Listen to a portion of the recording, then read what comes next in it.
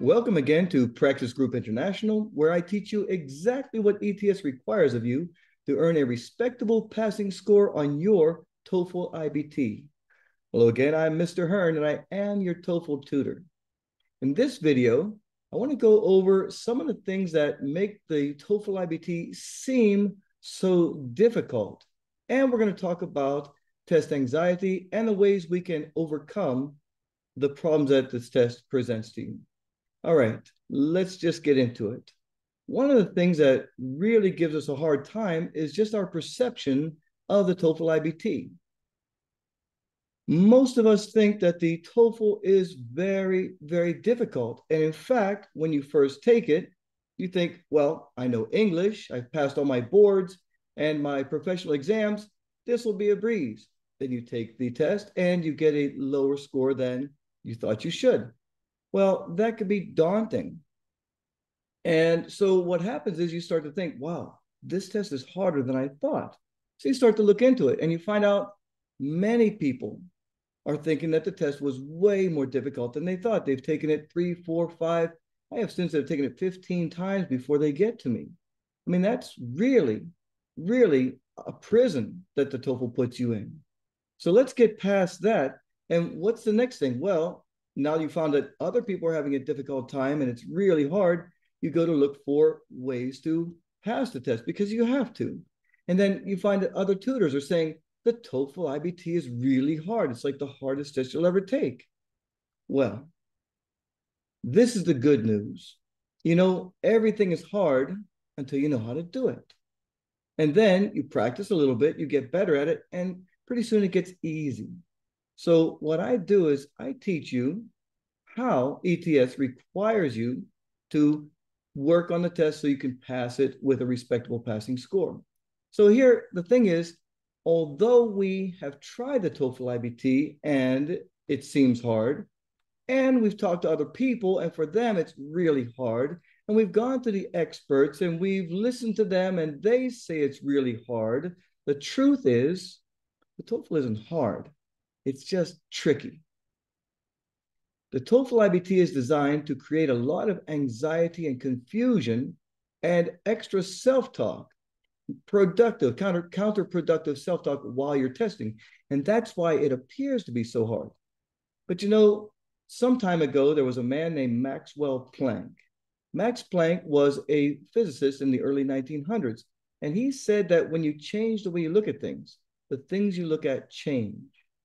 So what we're going to do is we're going to learn to look at the TOEFL IBT in a different way so that it changes our perception from thinking that this is a really hard test to, oh my God, it's so much easier than I thought, right? That's what I get all the time. Once my students are taking my classes, two, three classes, and all of a sudden they're just like, Mister, it can't be that easy. It can be because the test is a standardized test. It has very specific rules and structures. That's what makes the TOEFL IBT fair for everyone. It has very specific rules and structures. And when you know how to take the test, it's so easy. Now, let me get into some of the things and give you some examples of how the test affects us and how it's built in, how anxiety is built into the test. Let's take a look at some reading questions. I'm sure that this is something that's going to help you. So please watch the video all the way to the end because there may be something here that helps you overcome that test anxiety. And then you can pass this stupid thing and get on with your life. All right, let's take a look. All of the questions you see in this video will come directly from the book, Official TOEFL IBT Tests, Volume 2, Third Edition by ETS from the people who make the test. Let's take a look at this question two. It's a detailed question. Now, looking at it, how does it make you feel? Your first reaction, how does it make you feel? Do you feel overwhelmed, like it's too much reading, or perhaps the question is long and confusing, it's difficult to understand? And what about the subject matter? maybe it's boring to you, or maybe it's a little intimidating as well. Then there's difficult vocabulary words within the paragraph. And then your choices too are very confusing. What's going through your mind? Are you thinking that, oh man, this is going to take me forever? I'll never be able to pass this test. This is horrible. I've passed my boards. I know English. Why can't I just get on with my life? Well, do some of these thoughts sound familiar to you? So, this is built into the test. Please understand that the TOEFL IBT is not hard, it's just tricky. ETS knows exactly how to hijack your emotions to make you think negative or counterproductive thoughts and waste time with those extra thoughts. And so, what we want to do is we want to know how the test affects us for each question type so that we know how to proceed in an effective manner. When I say effective, I mean to be able to identify a question type and to be able to answer it quickly, easily, and accurately so you can get on to the next question. Speaking of the next question, let's take a look at one more. Again, this is another detail question.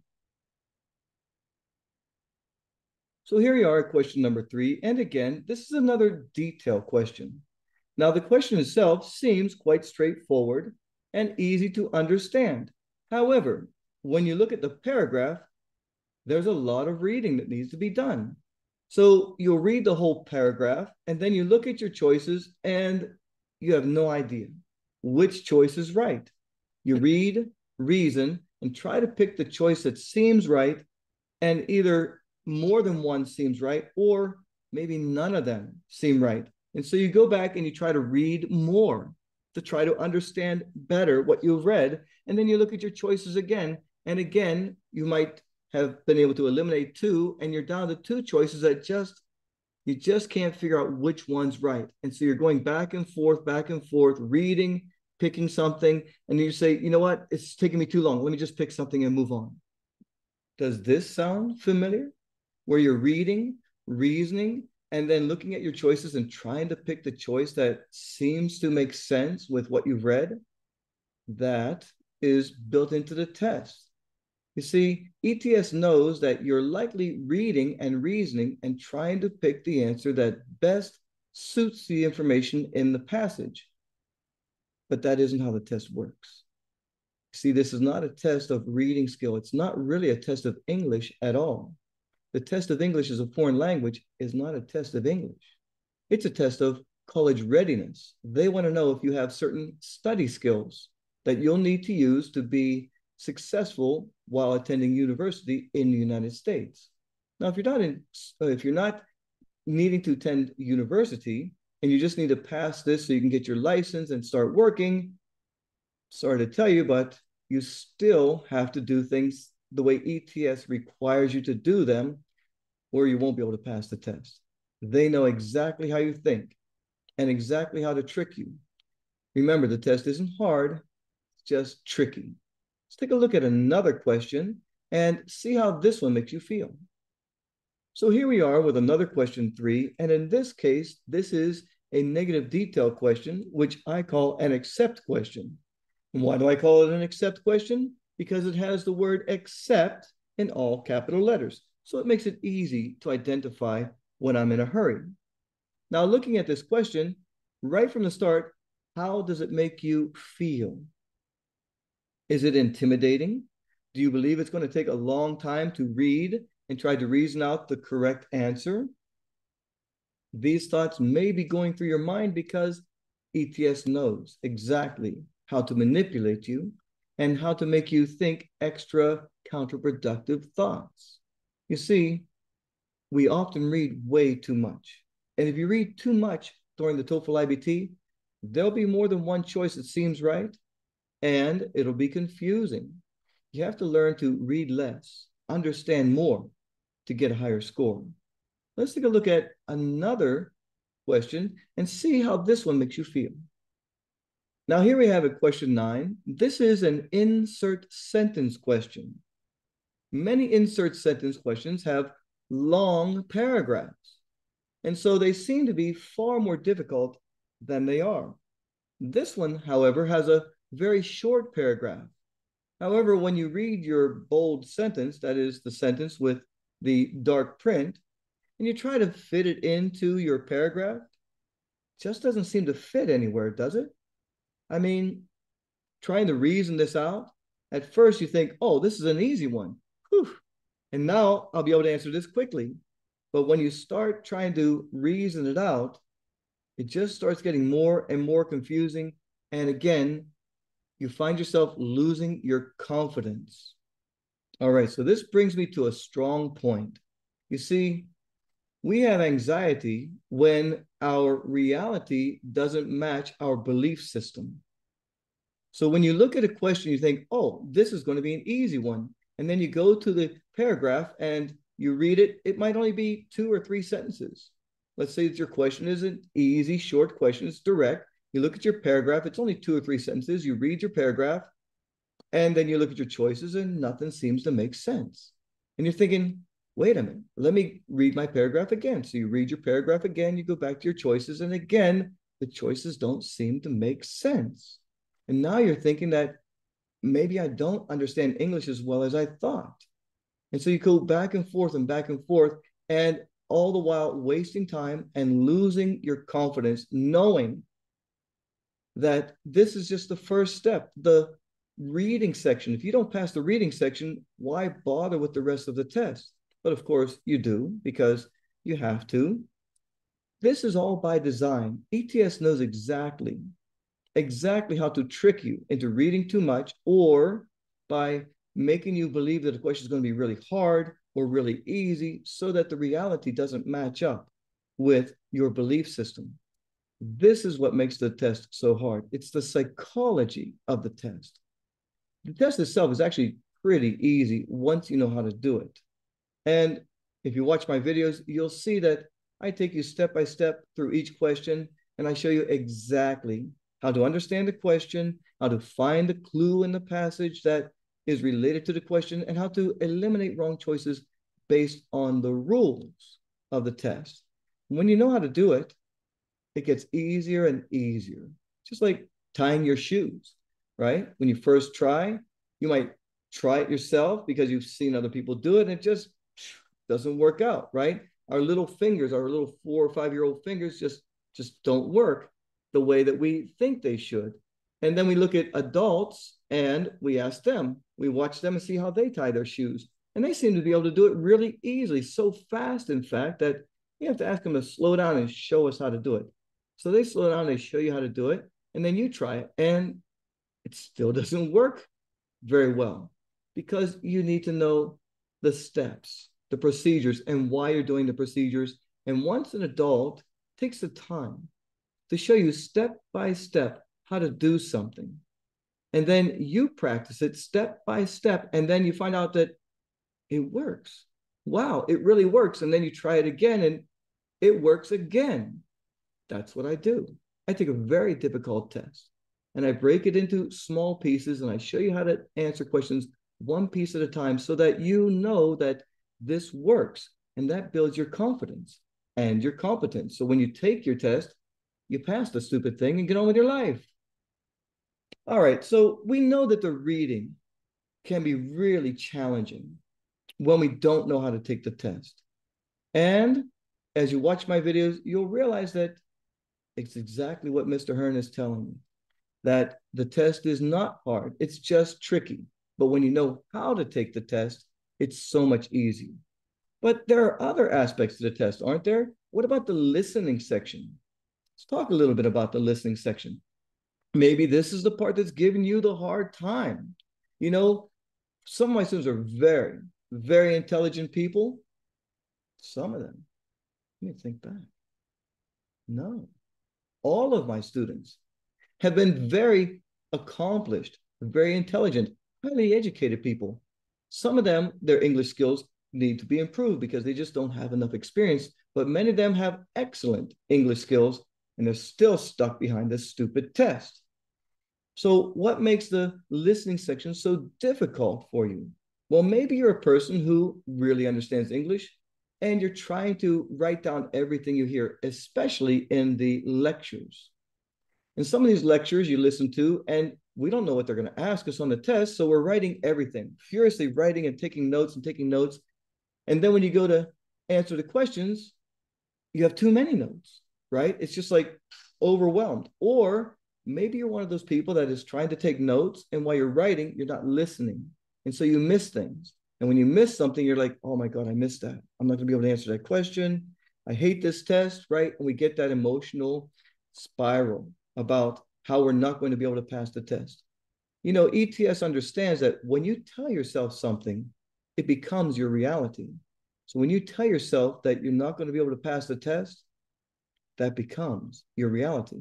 So you need to know how to manage your emotions during the test. Let's talk again about taking notes in the listening section. Did you know that the listening passages are very similar to the reading passages and that they're not going to test you on everything?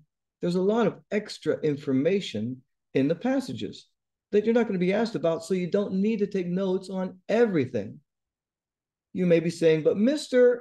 I don't know what questions they're going to ask me, so I have to take notes of everything. Well, it is a standardized test, and they have very specific ways that they tell you things in the passages so that you'll know what to take notes on. They ask very similar questions every time, and they give information in a very specific way. So if you know what to listen for when taking notes, you'll take fewer notes. And speaking of listening, understand that your brain is so much smarter than you know. You're recording everything. Your brain is recording everything from before you were born while you're in the womb to the point that you pass away. Your brain is recording everything. So you say, so why don't I do well in the listening section? Understand that your mind loves your voice over anything else. So while you're listening, ETS has a way of making the passages seem a little confusing or long, or maybe they're talking really fast. And so you start this little self talk saying, They're talking too fast. I can't take notes. I hate this. is horrible. Let me just let me just listen and take notes again. And then you do your best. While you're saying those things, you're missing what is being said that you're going to have to, and you, the information you're going to have to use to answer questions. So what happens is when you get to that question, all your brain knows is they're talking too fast. This is too hard. I hate this test. I'm going to have to test again. And none of those thoughts are the choices. So, how do we overcome that? Well, first of all, know that you don't have to take a lot of notes. In fact, take fewer notes, but more, uh, more relevant notes is what you need to do. We need to listen more, listen more, and write less. So what you're going to do in the listening section is you're going to know what you're listening for. And then when you hear those cues, you're going to say, oh, I need to remember this. Tell your brain, remember, they could ask about this. And then your brain's going to go, oh, and it's going to record that information. And you're going to write down two things what are they talking about and what they say about it. And you're not going to write down full sentences. No one's going to check your notes. In fact, they're going to destroy your notes after the test. So what you're going to do is this is the trick. This is the trick to passing the listening section. You're going to listen for certain key things that are being said. And then you're going to say to yourself, listen, this could be important. And then when you see the question that they're asking about that, you're going to ask yourself, what they say about that? And then your brain is going to replay the recording in your mind. And then you're going to look at your choices and you're going to eliminate choices that either not mentioned or it's different than what you heard in the passage. Again, you're going to listen. You might look at your notes because in your notes, you'll have a topic to the question, and then that topic is in your notes. And so you say, What's the question asking me about? You look at your notes, and when you write things down, it creates physical memories in your brain. So as you write down the name of that topic and a couple of words, just a couple of words of what they say about it, that'll trigger your memory to say, oh, what did they say? And your brain will play that recording. And you don't say which one of these choices matches what it says. You say which of these choices is different from what's stated in the passage or not mentioned at all. Please understand that there are no right answers on the TOEFL IBT. There's only the best answer. And I'm talking about the reading and listening sections. There's no right answers in the reading and listening sections. There's only the best answer, and that's the one that's left once you've eliminated wrong choices based on the rules. And the rules are any choice that is not mentioned in the passage is wrong. even if it's true in real life. You may be an expert on the subject, but if the information in that choice is not mentioned in the passage, it's wrong. And anything that's different from what's stated in the passage, and I mean really different, it's not possible. Simply wrong because that's the rules. Speaking of knowing what's in the passage, there are some tutors out there, and I've seen this in books and I've heard this from tutors saying that you need to study up on different subject matter and prepare yourself for the TOEFL IBT so you'll be ready for all the different subjects. I cannot emphasize enough how ridiculous that is. It is such a waste of time. If you've been doing that, please stop. If you've been studying five, six, seven, eight, nine, ten hours a day for your TOEFL IBT, please stop. You should not be studying more than one hour a day for any section. One hour is all you need. When you know what you're doing, then it's easy to practice, right? And you can practice less and have a far more uh, productive practice session. When you don't know what you're doing, all the practice in the world is just going to make you more frustrated. But when you know how to do something right, you just practice a little bit just to reinforce that, yes, you do know the procedures and that you can answer the questions quickly, easily, and accurately. So, back to what I was saying about not reading, not learning about the subjects, here's why. You see, ETS is not a test of understanding. You're not learning anything on the TOEFL IBT. In real life, we study and we learn a subject and we answer questions based on what we learned. But on the TOEFL IBT, it has nothing to do with real life. In fact, if you remember anything from the passage after you finish your test, you did it wrong. No one is going to ask you what you learned on the TOEFL IBT. All they're going to ask you is, what was your number? What was your score that you received? When you're reading, all you're doing is looking at what kind of question is it? What's the question asking me about? What does my passage say about that? And then find your clue in the passage and eliminate wrong choices based on those two rules of not mentioned in the passage or changes the meaning of what's stated in the passage. Now, there's a little bit more to it than that, of course. It's a little more challenging, but I do take you step by step into how to answer the easy, medium, and hard questions. Okay, I got a little off track there, but let's get back to what causes anxiety on the TOEFL IBT. I mean, besides if you just think that the test is hard, when you believe it's going to be hard, it's going to be hard. When you know how easy it is, it really is easy. And if you take, if you read too much, or if you if you misunderstand a question, you're going to have difficulty in the reading section. If you take too many notes in the listening section and you think that you need to listen and understand and take notes and then pick the answer that's right, you will have great difficulty in the listening section. But there are easier ways to overcome those things. Step by step, I show you exactly how to do it. Now, what about the speaking section? Do you have any anxiety about the speaking section? Are you afraid that maybe your English skills aren't good enough, or maybe you have an accent and you're trying to overcome that accent so you can do better in the speaking section? Maybe you're so afraid that you're actually buying templates that people sell or using templates that you found out there, or maybe you're using those special vocabulary words that are going to guarantee you a higher score. If that's you, stop it. it's a waste of time and money. And you'll never, ever, ever be able to pass the TOEFL IBT using templates and special vocabulary words. In fact, I know that because ETS penalizes you for using memorized responses. And they're so hard to use anyway, because often they don't go with the information from the questions that you're given. So you're trying to figure out how do I fit this information that I've been given into these templates, it's just not a fit. Doesn't work. If you're struggling with getting higher than a 22 in the speaking section and you're using templates, stop using templates. Okay? Stop doing what these other tutors are telling you. I just have to say that there's a lot of stuff being taught that is absolutely wrong. Absolutely wrong. There are tutors teaching you that you should be interpreting what you hear. and then giving your interpretation or opinion and be sure to give a conclusion. Every one of those things is absolutely wrong. You see, the speaking section is so much easier than most people think. How do I know that? Well, I had a testing center for five years and I know how to score your responses. So I know exactly what the graders are listening for.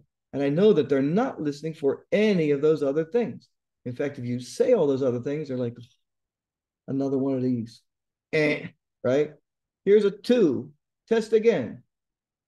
But if you know what ETS requires of you, and you know how to structure your response according to the purpose of your response, the speaking section is so much easier than you might think. And your English grammar may not be excellent. It may be intermediate, but you can still earn a high score on the reading or speaking section, even if you make mistakes. You can have an accent and get a high score. So if you're trying to work on your accent, you can stop working on your accent. You don't have to speak like American, right?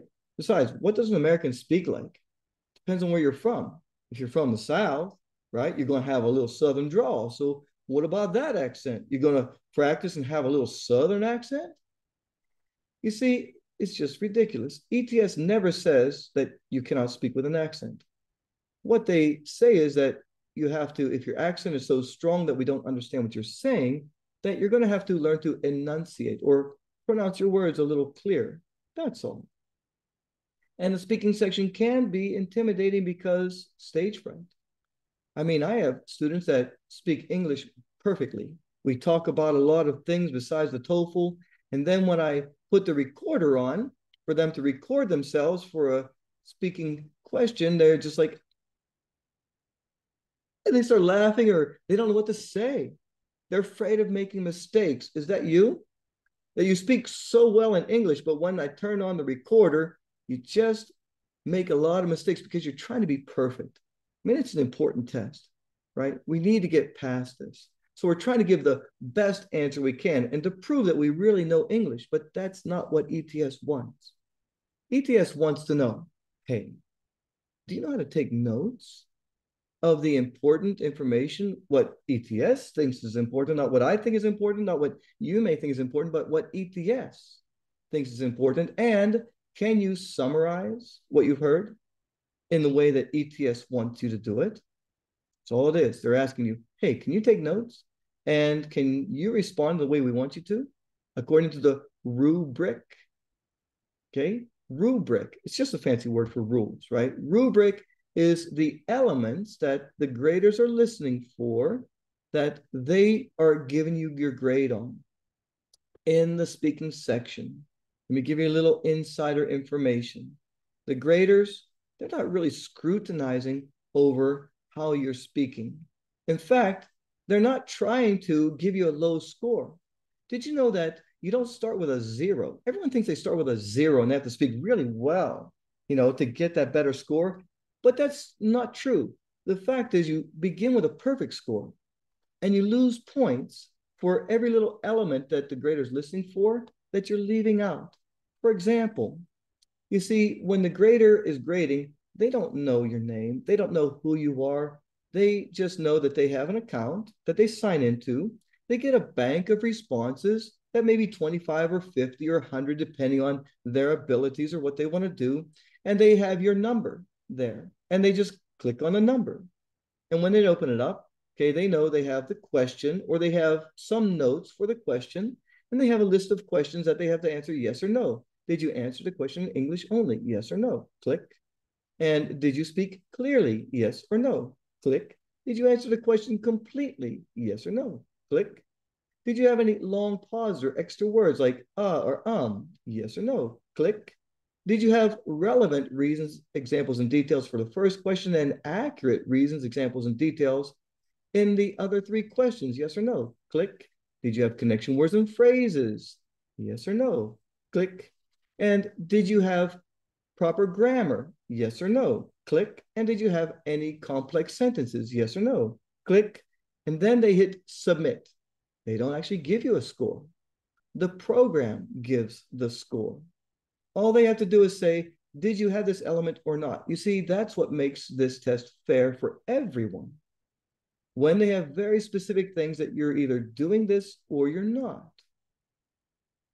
Well, by the way, that is the secret to the speaking section, the rubric. It's all about are you obeying the rubric and answering questions the way they want you to? If you look at the official rubric, it's really complicated, right? It's so complicated. It's like you have to be an English, uh, a university English professor to understand it. Well, I've just simplified it for you. And if you take the course that I offer, you go step by step. I tell you exactly how to structure each response according to the purpose of that response and exactly the way ETS wants you to so that you can score 26 or higher. And if you're a pharmacist, a dentist, or a teacher, you know what I mean, especially my pharmacist and dentist. You have to score 26 or higher.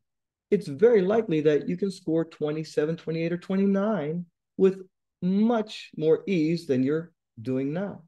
Okay. So that's the speaking section. I mean, what does it really gives us a low score? Using the templates or those fancy vocabulary words, saying things the wrong way because we've been taught to do things incorrectly, or just the anxiety of having to perform. And that's a lot. But if you know what to do and you know how to do it, and you know that your response is going to earn you a respectable passing score, there's a lot less stress. It's a lot easier. And the last thing that we're going to talk about is the writing section. Not a lot to say about the writing section, except that it's very much like the speaking section, except that you're writing instead of speaking. There's a rubric a very specific rubric, the rules that ETS has for you to respond. There's a very specific structure, not a template. Not a template. There's a specific structure and how they want you to respond. And if you know the structure and you respond in the way ETS requires of you, you automatically get a respectable passing score. That's all there is to it. Know what they want. Know what ETS wants of you and give it to them in the way they want it. And they love it. They give you your passing score and you can get on with your life. That's what this is all about. Being able to understand how the test works so that you can answer questions quickly, easily, and accurately in every section. Finish this test, take it one last time, and be done with this stupid thing and get on with your life. Okay, if you have any questions, please put them in the uh, comments below. Okay, and if you found anything that's helpful in this video, subscribe, like, share. Help me out here, okay? Because I can't just advertise this everywhere. You are my best advertiser. When you subscribe, share, and like, ring the bell because I'm making new videos all the time. It's a new year. I'm making new videos for every question on the test. Okay, so that's it. If you're interested in taking TOEFL courses or if you would like a TOEFL evaluation, please contact me at the email address below. Look at the description. That's it for now. I really want you to pass this test. You know, we need you. I know you've been suffering that you should be in your career right now. If you've been stuck with the TOEFL for more than two months, contact me. Okay. I can help you through this and then you can get on with your life. That's it for now. I'll see you in the next video.